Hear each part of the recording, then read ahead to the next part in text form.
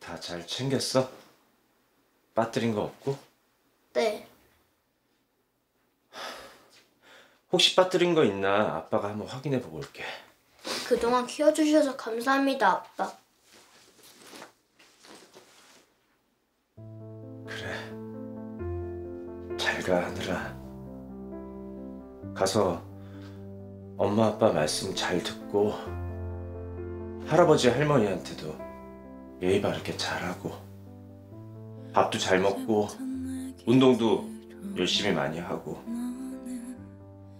꼭 멋진 프로골퍼 되세요, 아빠.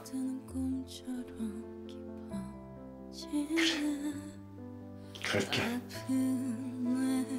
가슴 속에 하나의 빛을 주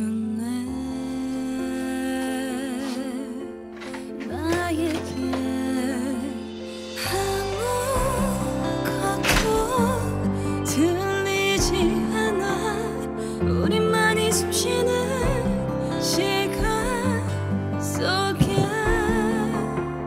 너의 눈을 바라봐. 내 눈에 담겨있는 너에게 말을 하고 있잖아.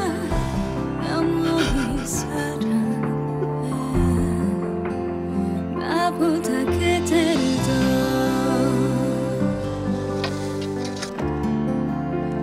나보다